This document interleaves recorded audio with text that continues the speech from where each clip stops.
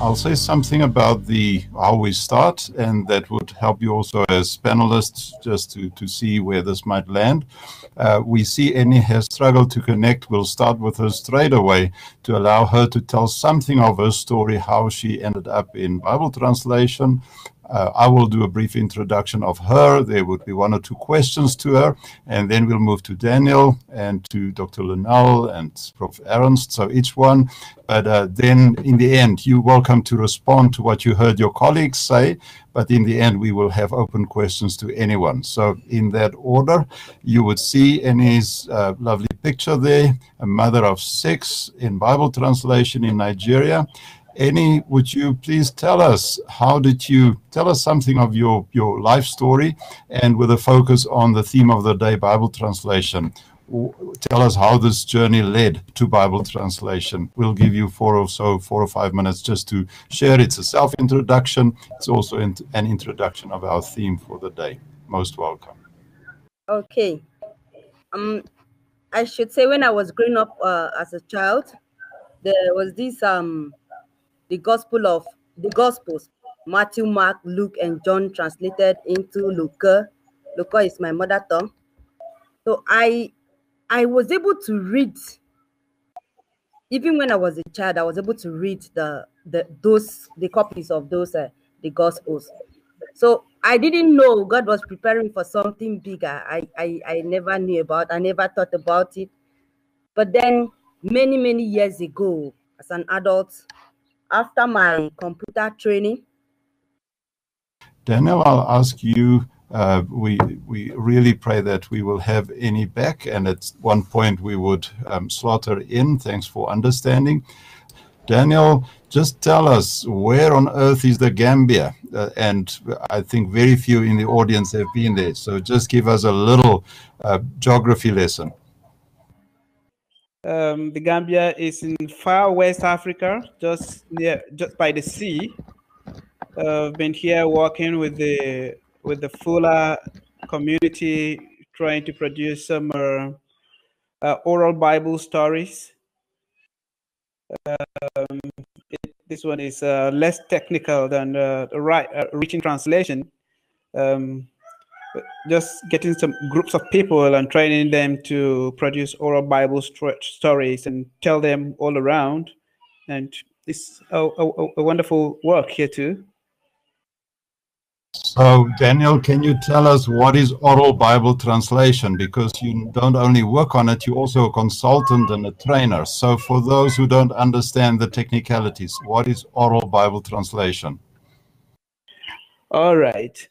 Um, we have uh, two kinds of uh, oral Bible translations, the oral Bible storytelling and then oral Bible translation itself. Um, many people are aware of uh, uh audio Bible, which is usually a recording of a, a written translation. Um, oral Bible translation is different from that.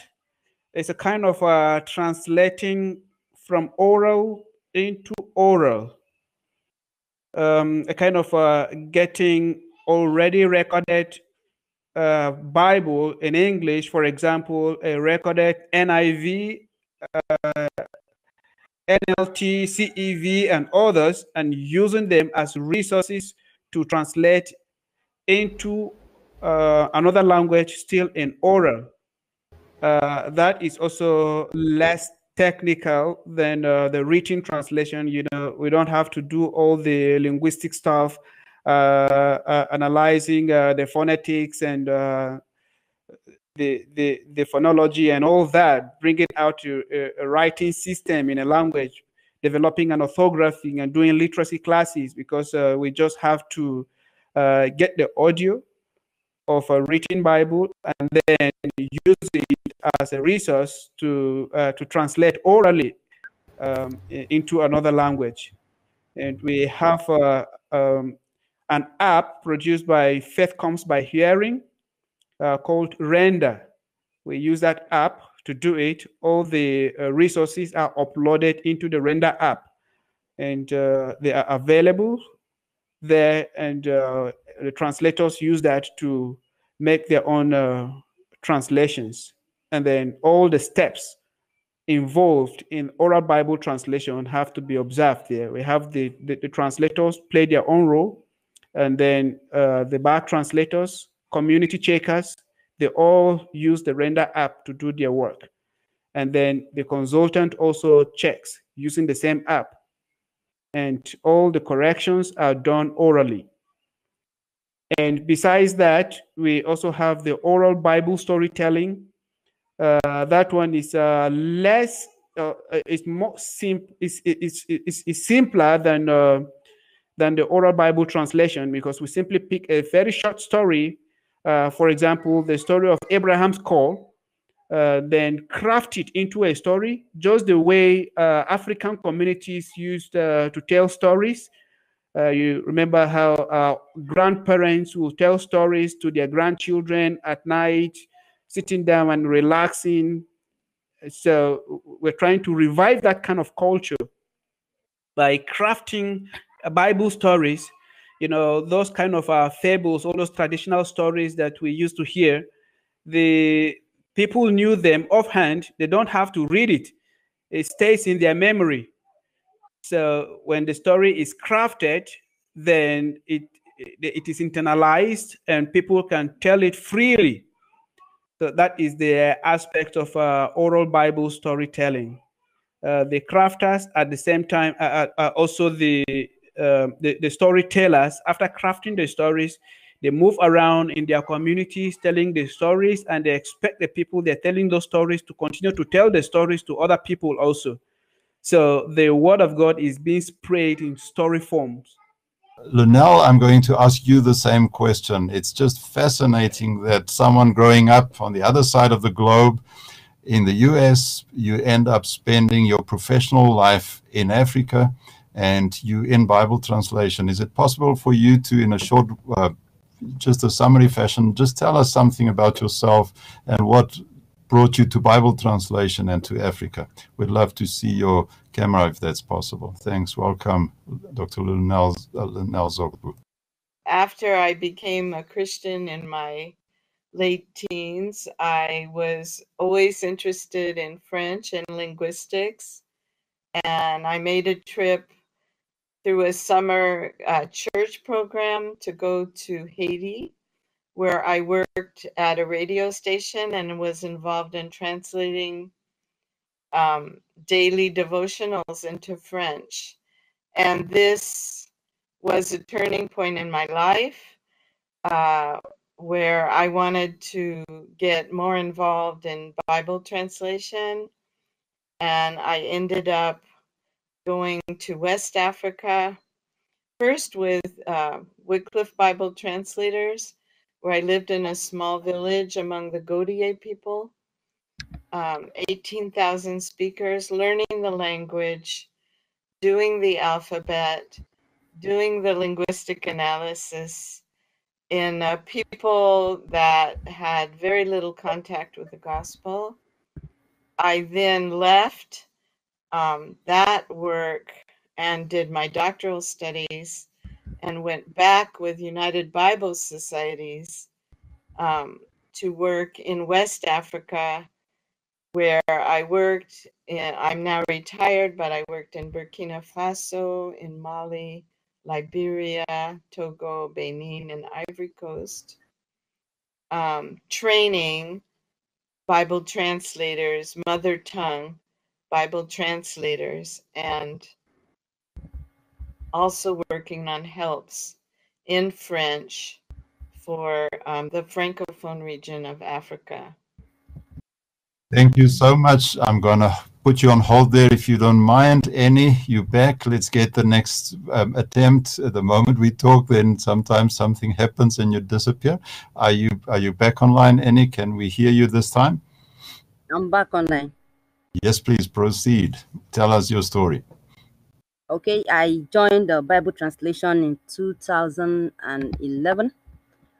And that was after, let's say in 2009, I went to um, Calabar to do a diploma in computer studies. So when I was done with uh, my studies over there, the, chair, the chairman of local Bible translation project called me. He said I should come and join the translators. But when I told this to my other brother, because I was in his house, he said, No, you can't go back to the village. You have to stay here in the city and get a, a good job doing. What will you earn in the village? Stay here. So it was over three weeks. We kept debating. I kept talking to him. But throughout these three weeks, I had no peace of mind. Even if I sleep, I was just lying down and it seems there we've lost our dear sister. I would take chapters as it comes. Uh, um, Dr. Lynell, can I ask you just give us a picture of the languages of West Africa? I think few people know how complex that is. Could you give us a short, just a view of languages in, in your area? In my area, all the languages belong to the Niger Congo family which is a huge um, linguistic family divided up into many different uh, subgroups.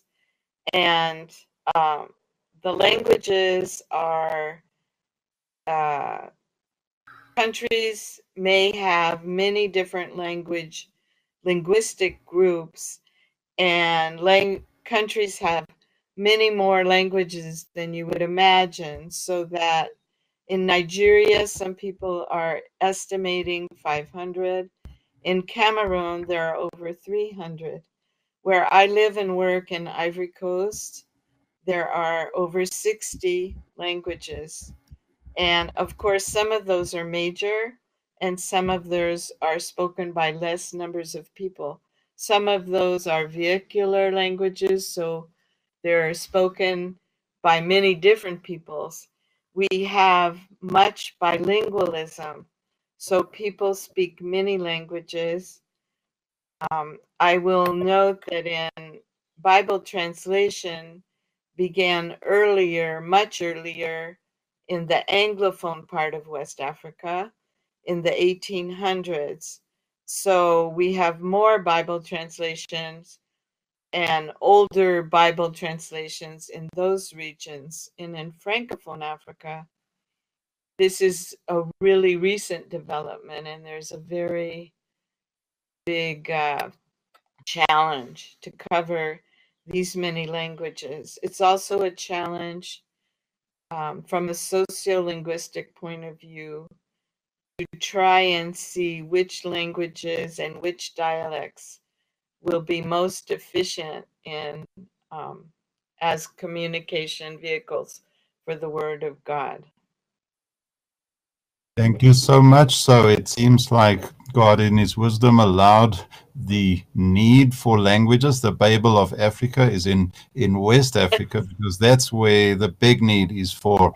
We have the languages, but they also need the Bible. And quite often, like in the, above the um, uh, the Sahel, these are mostly Muslim areas, so that makes it even more challenging. I would just see, um, take one chance more for Eni. I saw your message, Eni. Are you online? And if so, can we get another small chapter of your story? If you've just been to Nigeria and you know where she lives and the challenges of connection and even the threats to life in the north, you would understand this brave woman, a mother of six, who has made a life choice of focusing on Bible translations. So she's a hero already, and uh, the rest is waiting. Prof. Ernst, just bring us in the picture. Is there a need for Bible translation in Southern Africa as well? Could you just expand a bit on that?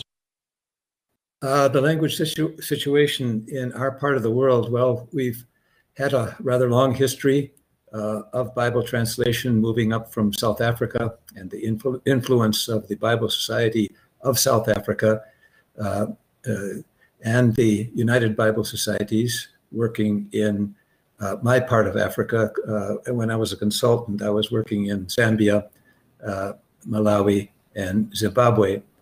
I know the situation there in terms of number of languages more than in other areas.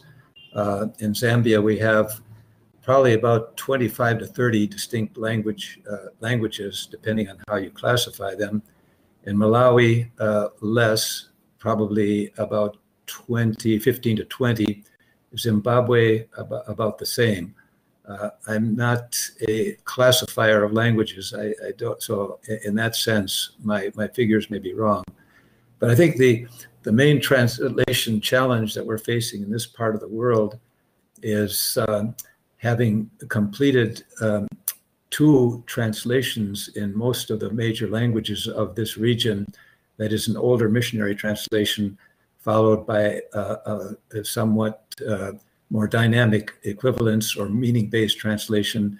In most of the, I think almost all of the major languages of this region do have at least two uh, Bible translations.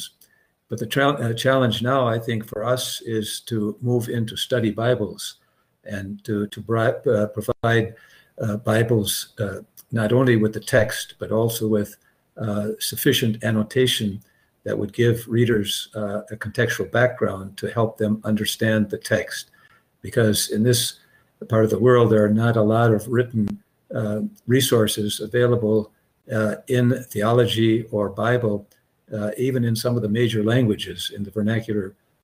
in, in the vernacular. So, a study Bible project, I think, in all of these languages, major ones, would be a very important task.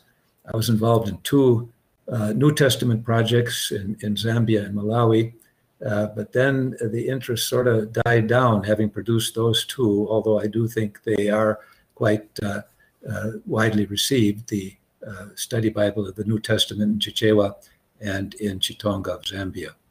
But uh, for me, that would be the, the big challenge is to move on from the Bible translation to provide study Bible types type of materials for the for the local pastors who really have no access uh, other than the Bible with notes or anything in the vernacular uh, in terms of study material to help them contextualize the text and uh, present the message more accurately. Thank you. Thank you so much. Back to you, Dr. Lynell. Um, together with Prof. Adams, you've trained hundreds, I would believe, people from Africa and elsewhere in Bible translation. So, uh, just on behalf of our two colleagues who struggle to connect, just tell us what does it cost for them to, to move from deep rural Africa to travel all the way to meet you in Jerusalem or elsewhere where you offer your Bible translation? What, and what brings them back? How is it possible that people um, can make so many sacrifices for God's word? Would you give us just a, a glimpse there, please? Yes, um, the the challenge and the sacrifices are huge on the part of African Bible translators. Um, years ago, we, in the beginning, had people with very low education. And so we would bring them together into workshops in uh, major cities. So people would have to travel and um, leave their home, you know, their homes and come to capital cities for um, various translation. And um, at that time, in my uh, time of service, many translators only had a high school education, so there was no um, mother, there was no knowledge of Hebrew or Greek, very little background theologically, often what we call secondary translations coming out of the, um, you know, either from French or English, which of course is not a very high quality. nowadays we are trying to have very much higher uh, trained people. And so this does mean that people have to move around quite a bit. Um, Ernst and I have been involved in teaching in Jerusalem, where Bible translators now have the chance uh, to travel to Jerusalem to see the actual geography, to learn Hebrew um, in a far better way, um, and uh, and this is these are challenges, but they're also welcome. Um, people love doing this and moving, though they do have to leave their families behind. Um, on another level, there are great sacrifices when people commit to Bible translation. And I think uh, Eni was beginning to try and say how her brothers were telling her, You have a degree in computer science. What are you doing in Bible translation? So, the challenge there's a huge challenge for the church to recognize Bible translators as part of the ministry, for them to have the status and role that they need.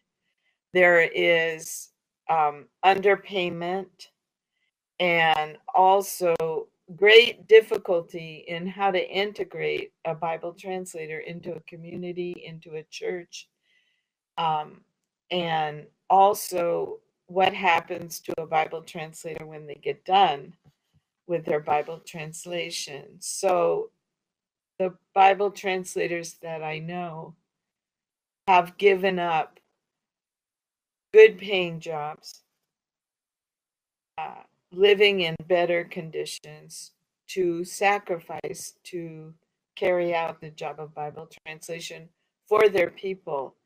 And it's a call uh, and they need training. Everyone needs training, but no one can really do this work without a call.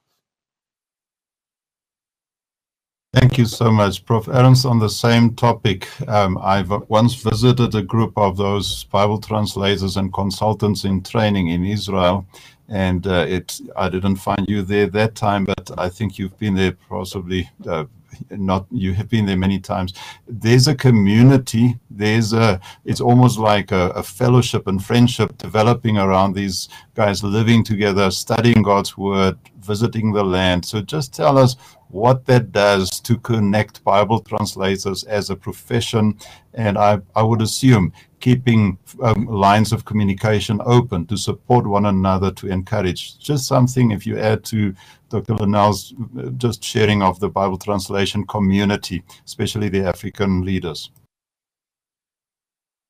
Um, yes, the the uh, ability or the opportunity to study together uh, in Jerusalem, uh, in the land, uh, as a community of I forget how many was the, was the largest group that we had, between 15 and 20 uh, translation consultants. We are focusing on especially after the first group that we trained in the Psalms, uh, we're working uh, with especially newer translation consultants or those in training, but to work together with them uh, to build a community and a fellowship, working with especially biblical Hebrew poetry, and then with a focus on a particular book. Uh, it's been a wonderful experience, and then having this background in the land to see the text uh, uh, visualized in, in, person as we translate uh, these books is something that cannot be you can't duplicate that with pictures on a page or e- even movies videos or whatever but then we try to cooperate in other projects we try to uh, work together with the, the group that we have participants in producing a, a, a study, uh, a booklet of study papers that we collect and uh, working together on that as a group is also something that binds them together and uh, forms relationships that I think uh, carry on after we uh, complete the course. We know each other, different parts of the world. In fact, the last course that unfortunately we had to teach via Zoom, we had participants ranging from one in America to the other in China. So we had nine participants, participants all over the world. Now that adds another dimension, not only Africa, we had several participants from Africa, but then uh, getting to know uh, people from other parts of the world, the Far East, then the, the, the folks in Africa uh, realized that, well, the, the, problems that we are facing are not only those in Africa, but they're facing the same types of problems in, in China, in, uh, in, in Thailand, in Korea, and, and elsewhere. So that's a, a broadening experience that also contributes to understanding the fellowship of Bible translation coming also from different organizations, not only UBS or SIL, but there are other organizations that are involved. And for at on the organizational level too, I think this is a big a big uh, plus when we're able to work together on different projects and train um, uh, the next generation of translation consultants I think that's uh, something that Lynell and I have been uh, wanting to focus on in, in all of our uh, courses. Thank, Thank you. you. so much, Prof. Ernst. Um, I'm, I see Eni is back with us. Eni, um, sometimes when when I catch you there, and then are you are you still? Yeah, please just continue. We have another short episode. you've been lost and you've been found. You are with people who love the Lord and love the Bible and who love Bible translation. So you've found, been found in the right place. I see Daniel has also joined us. Uh, just continue something about your story. We still with a question how a woman with your talents and responsibilities would um, end up with Bible translation. What do you enjoy? Just just talk to us. Okay. Uh, I what I enjoy in Bible translation is that it it kind of gives me relief to see people, even those who are being called the minority languages, to have access to the word of God in their own mother tongue. Some in oral or is orally, and some through text. So you you you that is I like it when I see people feel happy that oh so God can speak my language, so God can understand my language. It gives me that joy. So I, I am always that is one of the things that make me that gives me joy in Bible translation. And also it is not limited to just maybe a certain class of people, but people of all classes, both old and young, rich and poor, and even those living in suburb areas that are not accounted for nothing. They have access because of Bible translation, they have access to God's word. So, and because there is power in the word of God, it can liberate, can give joy. So it gives me joy that you see, God is not um is not He's not partial. You can even use women, girls, some boys. Of course, my sister, now you must preach. But just to give us a context, Bible translation in northern Nigeria, we get shocking messages, news bulletins about almost the ethnic cleansing of, of anyone, not but faith cleansing in the north. So how does that affect your vision and your work of Bible translation in the north? Okay, now I'm in the south. After finishing school, I left Jos and came back home. That was since April. But one, some of the challenges I've, I discovered when I was in Jos was that sometimes it is difficult to go out as a Bible translator. For instance, there are places you don't go to do Bible translation because it is um sometimes a Muslim dominated area and there was a time when um, some of my colleagues came back to school, and one of them told me, The only thing I have now is my laptop. Every other of my thing has been burnt up. So there's more many translators in the north are facing challenges, challenges from the Muslims and some those kind of things. So, and in the south here, from my experience, I've been working with a cluster called the Ekpe cluster. It is in the Rivers State and um, Bayelsa State in the eastern Nigeria. One of the challenges they are facing there is, flood. It was horrible and sorrowful when we went there April and they showed us the water level right inside their homes. It, it's high. It was heartbreaking. Yeah, it was. Thank you so much, Eni. Can I speak to our audience for a second? You would see the public chat is open. So if you want to type comments or questions to our panelists, you're welcome. Daniel, I'm moving to you. There's a question from Christopher to ask whether people receive um, oral Bible translations as give them the same authority as the written one. So you were still busy. Um, welcome us welcoming us into the world of oral Bible translation. You're welcome to proceed, but please also respond to Christopher's question. Thank you. Yeah, oral Bible translation is accepted as uh, authoritative, but it also has its own challenges. Um, the challenge with uh, oral Bible translation is that uh, uh, it's a little bit difficult for uh, a pastor to have it and read it out in church, but then it makes it easy for people to listen to it at homes uh, during their devotions. And uh, if uh, a pastor were to uh, read out scripture in church, then they probably has to have a very good public address system and be able to select from the lots of uh, audio files to get which particular one he wants to play. So that is a challenge with uh, oral Bible translation, but then the content of, uh, of, of, the material, the text itself is the same, uh, whether oral or written, uh, there is no difference. So it is accepted as Bible, but then that is just a challenge. Thank you so much. I'm going to jump to Dr. Lynell to ask you what is it that you enjoy in Bible translation? Are you not thinking of retirement and staying in the uh, where you are at the moment? What brings you back to African Bible translation every time? Uh, Dr. Michel Kenmogne, who's head of Wycliffe Bible Translators now, or SIL, excuse me, president from Cameroon says Lynell is retired, but she's not tired. And um, I have to say that the field is so fascinating. The challenges are so great. The need is so deep.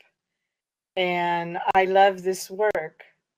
Um, er Ernst and I have been involved in many projects recently teaching one book workshops, working on Hebrew poetry, and our vision has been to improve Bible translations by letting people use stylistic devices in their own languages to and in their own music and their own cultural forms to make the word of God more alive, um, more poetic, more song-like, especially um, the third of the New Old Testament that is poetic.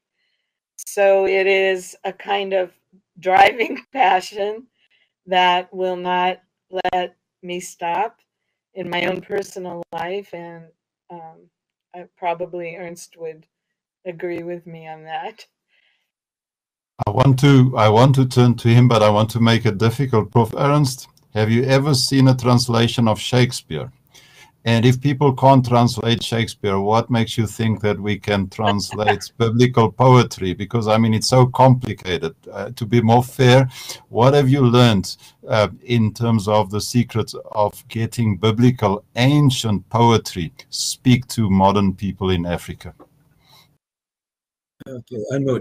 Yeah, uh, one of my first uh, experiences in uh, the translation of Shakespeare was uh, some work that was done by my friend and colleague uh, Philip Noss in um, in uh, in Kenya, and um, the Julius Nyerere had done quite a, a bit of translation of, of, of Shakespeare into poetic form. I think he called it the Tenzi form of uh, sort of Arabic related Swahili poetry. And that got me interested. Well, if you can translate uh, Shakespeare in poetry, why not uh, biblical poetry? And uh, I think the, the, the, motivating factor here, I, I think uh, with Lynell and I studying, uh, focusing our courses on biblical Hebrew poetry, once you see the beauty and the power of the original text, and then you look at the translations and how all that beauty and power has been washed out, you say, well, the meaning, a certain aspect of meaning has been lost from the biblical text. So, what can we do uh, to uh, build that back into our translations? And it is possible, and it doesn't take long for, I think, mother tongue translators like uh, Daniel and Victoria, who are in our class, to catch the idea and the vision after just a, a, course of several weeks, and then to be able to produce translations in a poetic form and often also in a musical form in their language. Uh, and once they uh, capture uh, that that vision and are motivated by that, then then you're on the way because you can't turn back then to an ordinary translation, having experienced the, the beauty of the biblical text in another language, especially if it's in your mother tongue. So for me, that has been the, uh, the, the driving force. You look at the original, you see what's there. Okay, how can we reproduce some of that? You can never reproduce everything.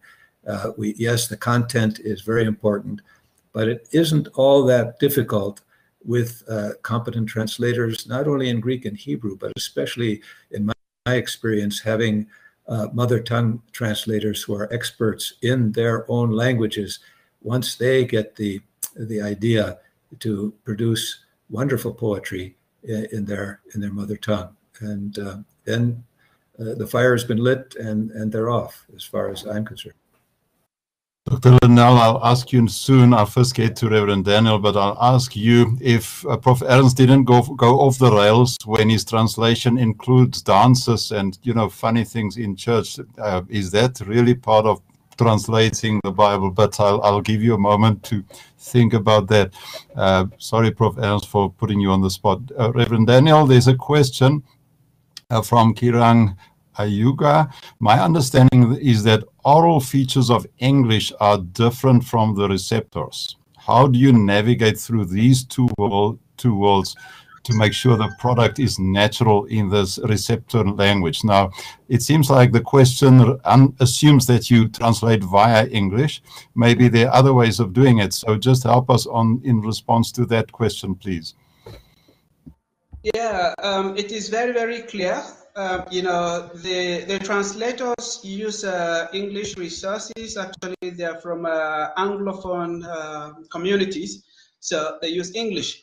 Now, as they translate, they do not think in terms of English. You know, automatically, since they are not doing a written translation, is if one is doing a written translation, the, the tendency to want to copy the discourse structure of English is always there. But uh, in the oral, um, people don't think about the words they think about the meaning of what they have gotten from the from the, the text that they have listened to. So it is much easier to uh, incorporate features of uh, the, the, the, the, the, target language uh, instead of uh, uh, the features of uh, the, the source language. And the internalization process in uh, OBT or OBS makes it easy for the translators to, to, to do that. And uh, having been through written translation and also involved in the oral translation now, I've really been thinking that uh, the, the, the internalization process that is done in oral Bible translation needs to be incorporated in written back, uh, Bible translation just to enhance naturalness in uh, written uh, Bible translation. Thank you so much, uh, Reverend Daniel. I see our sister Eni is back. So, Eni, your response or just continue another snippet of your story and your experience, please talk to us. When we see you online, we want to hear more. Since I joined Intald last year, October, I, apart from being the project programs manager, I've uh, been also uh, taking part in OBS. Like yeah, I'm being trained as an OBS, one of the OBS facilitators. Seems that we've lost our sister again. We will take our chance whenever I see her here. Dr. Lynell, um, what we're getting to is performance. That translation involves singing, rhythm, dancing. So I was a bit naughty with my question. Just help us how you and Prof. Ernst use those or encourage those in translating biblical poetry. Thanks. Okay, well, um, one way that we can go about this is have translators analyze their own genre and their own songs. So we would try and get features of a praise song in a given language, of a lament song in a given language.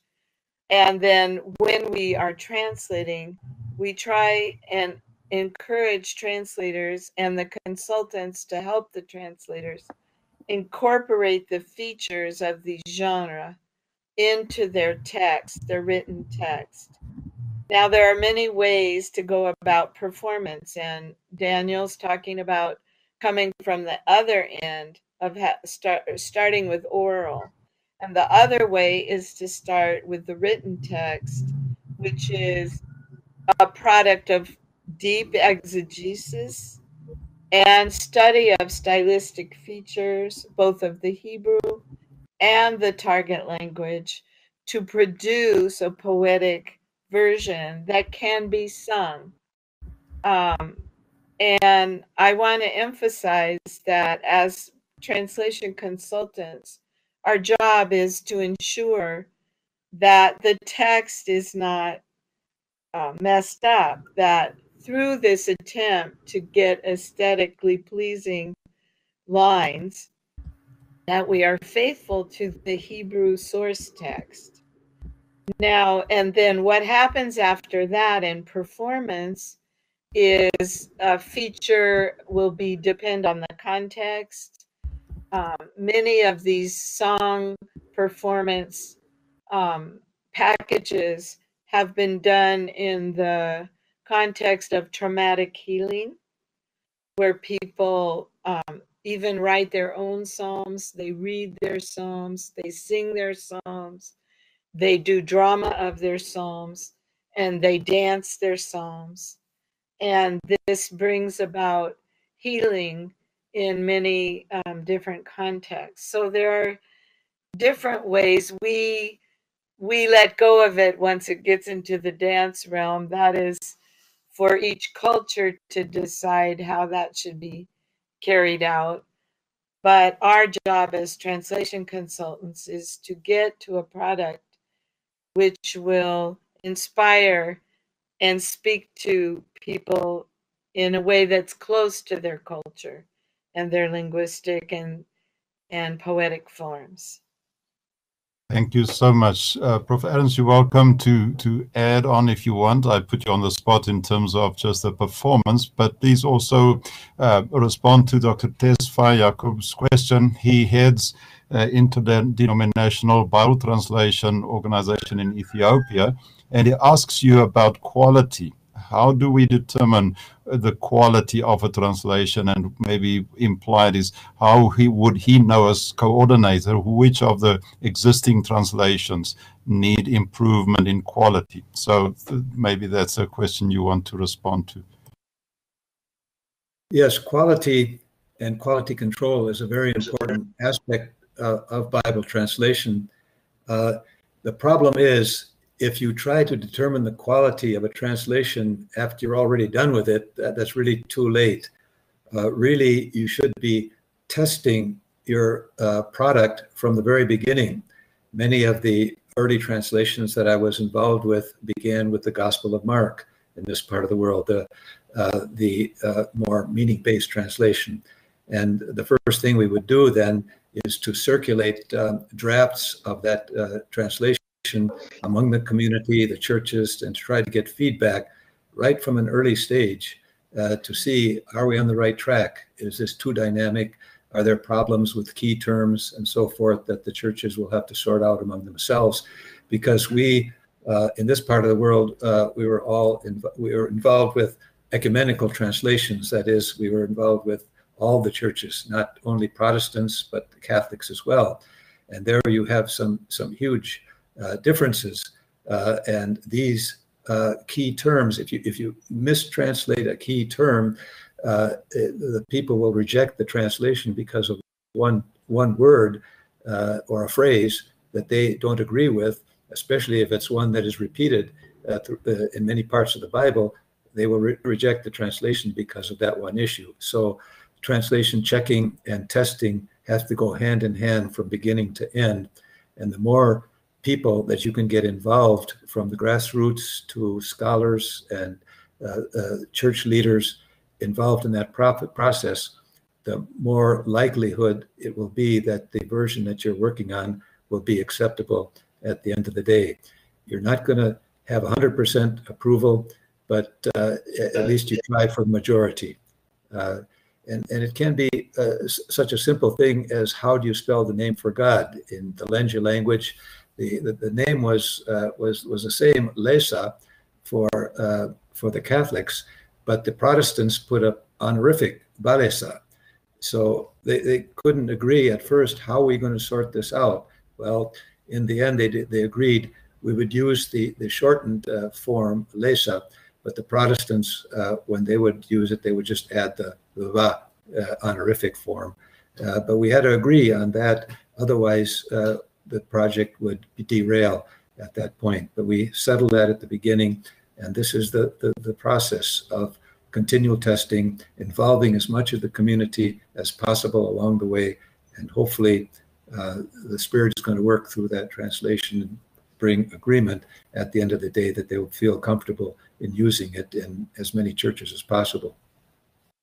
Thank you so much. Daniel, I have two questions lined up for you. We just want to check Eni. I see you are here. Please give us another snippet, please, before your connection plays tricks with us. I I work with IMTALT as an initiative for mother tongue and language development. It is one of the Bible translation organizations with um, the seed company here in the South.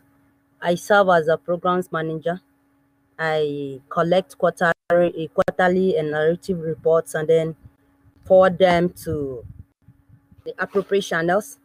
I also write uh, proposals for upcoming uh, projects, like the oral Bible story for Bibleized um, languages here in Cross River State and also like for now, we're trying to get we've already some I've already submitted a proposal for the Agoi cluster, and then we're now working on getting information for five other languages. Thank you so much. As before, we've just had a snippet there. Um, thanks, Eni. Uh, Reverend Daniel, two questions for you. The one is, are we not neglecting Bible translation in the Francophone areas? You are surrounded by the Francophone areas, mostly Muslim, so you're in a good position to answer that. And then there's a specific question from Matthew Harley. Could you, Daniel, please ex expand a little more on how you think the process of internalization can be incorporated better? In the process of a written Bible translation. So we're putting you on the spot, first French and then internalization. Could you help us, please? Uh, could you permit me to refer that question on the French translation to my professor, Dr. Lynell, because uh, she is living among the, uh, she's living in a francophone country and she's been involved in a, uh, translation in those countries. So I think she has better information than, than me. Now, to reward you for that clever trick, I'm going to ask you another question. Catherine says uh, white as snow doesn't work where she was a missionary in uh, in Sudan. So, what alternatives do you have? So, you have internalization and white as milk. Is that okay for Bible translation? Very good. Uh, for that, um, I would uh, first of all, as a translation consultant, ask the team uh, as white as snow is a figure of speech. Um, you know, there, there is this uh, tendency to always remove figures of speech uh, from uh, from the Bible simply because uh, we do not have another way of expressing it, and then we do not have the uh, the, the, the, the, the thing that I use to do those illustrations. And uh, at the end of the day, it's like uh, we are just trying to produce uh, text without uh, uh figurative expressions, metaphors, uh, similes, and all of that. Um, the Africa, African languages have lots and lots of uh, metaphors. And the fact that that language does not have the idea of snow they might have a different way of expressing the idea that snow is giving in that context. So the best thing would be for them to first of all understand the meaning, the idea that that text is uh, trying to tell us, and then find another suitable uh, figure of whether a metaphor or a simile or any other uh, figure of speech that uh, can be used in that context. Uh, so it's difficult to be able to give the answer and say they can say it this way, but it's good to research, do a kind of a cultural research and find what is equivalent to the idea that uh, that uh, uh figure of speech is is given there. So that is uh, what I would say uh, concerning that. Thank you so much. Can I just then also just a general disclaimer? Dear friends, you're welcome to post any comment and question. Obviously, time is limited, so we do not promise that we can get to all of them. Prof. Adams, would you give attention to the quite lengthy one of Francis Omondi? But I'll first go to Dr. Lynell. Uh, the question was about uh, uh, progress with Bible translation in Francophone African countries. Could you give us a picture there, please? Okay, but before I do that, I would like to speak to what Daniel just said. Um, in many uh, in many African languages, we have a special linguistic form called an idiophone, and these idiophones, in that particular verse, in something white as snow or something so shiny I know in Godié, if we say Jesus's um, being became, so he's all bright white, and um, much has been, we can exploit what are in African languages when we don't have an equivalent of a, a known item such as snow. So, as concerning the progress in Francophone Africa, um, it, as I noted, it has been very, very slow because um, actually the colonial powers, uh, beginning with the Portuguese and going through the French, were very um, uh, negative to mother tongue speech. And even in my husband's time, if you are in a classroom and you utter a word in your mother tongue, you will be punished and humiliated publicly for using your mother tongue when you should be speaking French. So these colonial attitudes have, um, and different other historical factors, have meant that in Francophone Africa, the progress has been very slow. Bible translation started very late, and um, churches have been slow to catch on to the importance of Bible translation in evangelism. However, the news for me and what I've seen in my career, and now that I'm retired, is very, very, very encouraging. And this is because um, a lot has been done to train. There's been training programs in Abidjan at FATEAC in French. There are some training programs in Cameroon. We do workshops. And also in Jerusalem, um, uh, five month programs have been given to Francophones. And um, coming up in October, I'll be teaching I guess, 13 African francophones, and we'll be doing narrative Jonah and poetic psalms and learning the discourse of these. So there's a lot of learning going on, and I will say about four years ago, I was invited to Ouagadougou in Burkina Faso, and we actually had a hundred where I never even, when I began, I never knew a francophone consultant, though there might have been one or two coming from Europe. When I went to this conference in Burkina Faso, we had a participation of 100 people, and almost all of those were Africans who were consultants in training. So, this is why the key is not only to multiply projects, but the real key is to train Africans to be the consultants and to uh, move ahead. And it's, I'm very, very, very encouraged by the progress. Thank you for the response, and it's really good to hear.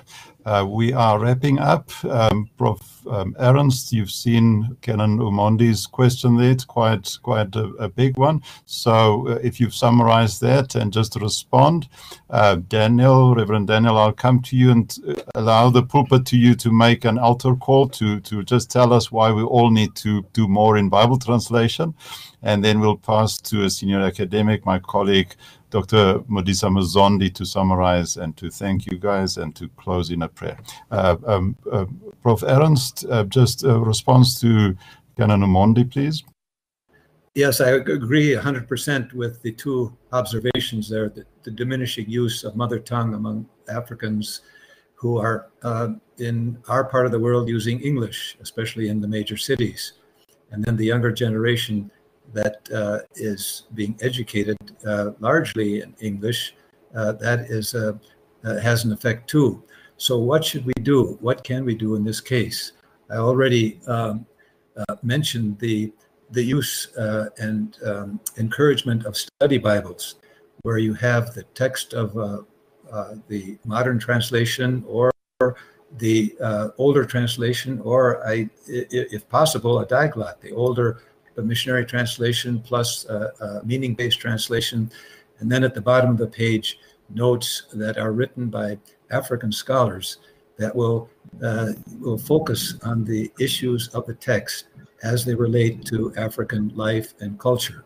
So the point is not just to take a study Bible that already exists, like the popular NIV study of Bible, and then translate those notes.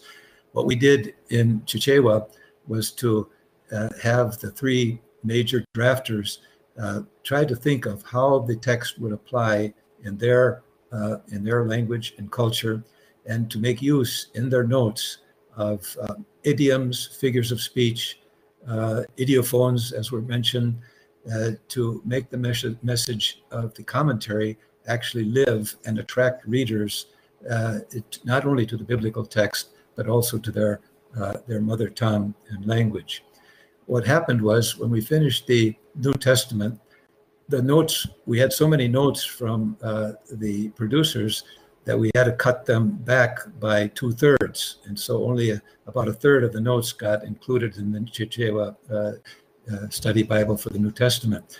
But those notes that were remaining could have produced the, top, the commentaries that he was uh, uh, referring to. I suggested that to the Bible Society of Malawi, that they would take these notes and produce these mini, uh, mini commentaries. Some of them, the notes for a particular book, like the Gospels, uh, came to about 100 pages. This would be the, the commentaries that would be so needed to help, especially uh, people in rural areas who do not have access to English or resources of a theological or biblical nature. But uh, a lot of emphasis has to be given to this and support. And uh, that's another issue. Where is the support going to come in terms of finances and also the scholars that are going to produce these notes? I struggled for 15 years on this. I didn't solve it, but uh, it, it, stands as a challenge for uh, not only in Africa but in many other regions of the world to produce these uh, uh, these these translations with extended notes, and that would be one way to uh, deal with problems one and two, as mentioned uh, by Reverend Amonde. Thanks so much. Uh, Lynell posted something in addition to the comment on the progress with Francophone uh, projects. Uh, Reverend Daniel, I also had a reminder from Matthew Hartley to, ask, could you just say one thing about the place of internalization in Bible translation? And then Eni, um, if you hear, we're going to hear your voice one last time. But uh, Daniel, if you want to respond and start your altar call for more Bible translation translators. Welcome. Yeah, um, the temptation for uh, a written back translator usually is to uh, have a look at the text. Um, for example, a verse in a chapter, and then the translator might think, okay, I understand what it means, and then he begins to write it in his uh, mother tongue. Now, the challenge is that that translator may not have understood clearly what that text means.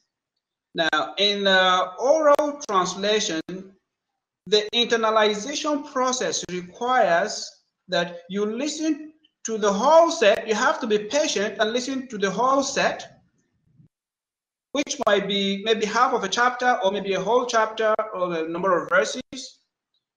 It has to be a complete discourse.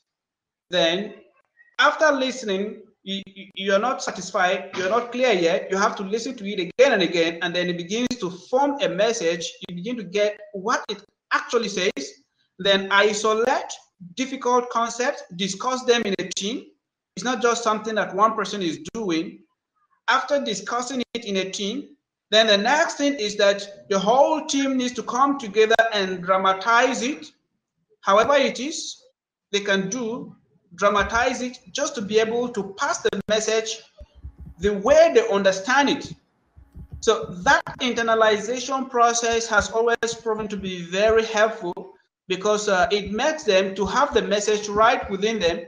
Uh, it's not like uh, looking at the text and then translate, but then they have to have everything within them. It's more or less like uh, uh, they are memorizing it, but not just memory, mem memorizing it, but uh, understanding it the, the, the sequence of events, understanding it in that way, and dramatizing it, and then the next thing would be to say it out loud and uh, record it.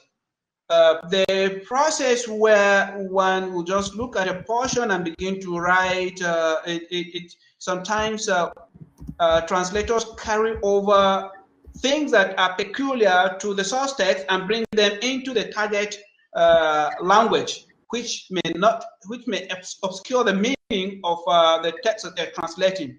But uh, patiently listening and dramatizing, uh, following the sequence of events, as in maybe a story text, um, uh, understanding it from that perspective uh, in a way that people can even dramatize it, it, it, it stays more in their mind to be able to explain it even anywhere they go. So it's not just a kind of a, uh, uh, writing it in the text and then they are forgotten about what they have written. Thank so you so much. what I've been thinking that is good to improve on uh, internalization, bringing that into uh, reading. Thank you so much. Thank yeah. you so much, dear Reverend Daniel. I'm going to pass the microphone and hopefully also the camera to my colleague, Dr. Mzondi. Uh, uh, please tell us of your involvement in Bible translation, Dr. Mzondi, and then please thank our audience and um, our panelists especially, and uh, close our meeting for us. Thank you. Over to you. Dr. Modisa, are you there? Yes, I am here. Good Good afternoon, colleagues. I hope my camera would not disappoint me. Let me know if the picture is showing. We see the white wall uh, behind, and I believe it's you in front of it, so that helps. Thank you. Great. Uh, my name is Modisa Mzondi. I'm one of the lecturers here at SATS, and I'm also the Deputy President of the Wycliffe South Africa Bible Translation Organization. At White Wycliffe, where we are mainly involved in or what we call OBT, Oral Bible Translation, in the Southern African region and in some Lusophone countries. We are currently involved uh, in translation project which have just started in the country here in South Africa. We're looking into si, Sipulana uh, in Lesotho and Sipu, no, Siphuthi in Lesotho and Sipulana in Limpopo, which are new translation that we're going to be using in oral Bible translation. What we do is that we translate the Bible in oral form, and uh, some some other translation are selected session in, in written form for people who've never had a Bible in their in their mother tongue all the time. So that's what we're doing here in Wycliffe, South Africa, Bible translation. And I was quite thrilled to hear that uh, Dr. Zogbo also has, has a, a continuous experience with Wycliffe uh, Bible translation. So she would understand what, what we're doing, as well as uh, Reverend uh, Daniel Gya would also understand what we're doing. So of late here is that in the past two years, there has been a collaboration between the Bible Society of South Africa, Word Alive, Word for Life, uh, Biblica, and Wycliffe South Africa to collaborate, and the four organizations have uh, created what we call the Bible Translation Collaborative. And we are working together in areas of Bible translation and supporting each other. And uh, we have reached a memorandum of understanding between the, the four of us that those we will uh, those who are involved in written Bible translation will continue to do so. Uh, ourselves who are involved in oral Bible translation will continue to do so and will support each other.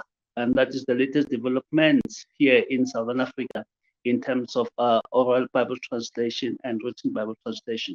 Thank you, uh, Professor Wendland, Dr. Zogbo, uh, Reverend Gya, and Mrs. Williams for all your contribution and eye-opening discussion in the area of Bible translation. It is indeed a very ongoing Bible uh, project, which is uh, demanding, which needs a lot of funding, which needs also a lot of uh, lot of uh, personnel.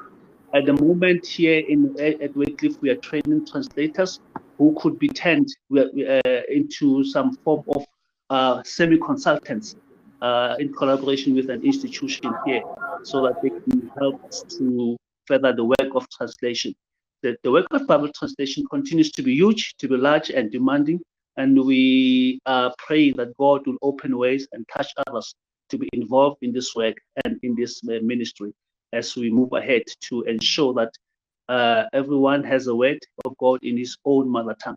Our heart and our desire at Wycliffe Bible South Africa is that we have the language, the Bible translated into the language of the people in their mother tongue.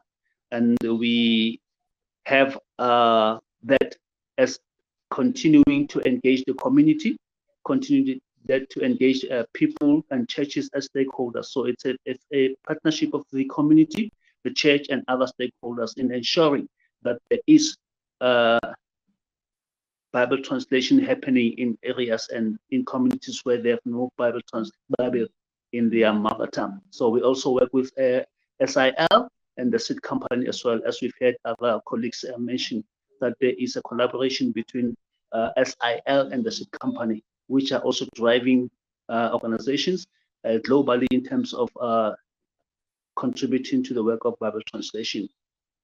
So thank you, colleagues, for being present, and may the Lord bless you and keep you, and make his face shine upon you, give you peace and open doors for you so that the work of Bible translation in your area may continue to enrich and expand the kingdom of God. Over to you, Dr. Malherbe. Thank you. Thank you so Shall much. Yes, please. Can I also thank the audience for bearing with us with the technical challenges and for all of you for helping us to reprioritize in terms of supporting. It's a high priority for SATS, and you guys would help us make do that even better. Uh, Dr. Modisa, please close in a word of prayer, and then thank you to all of you.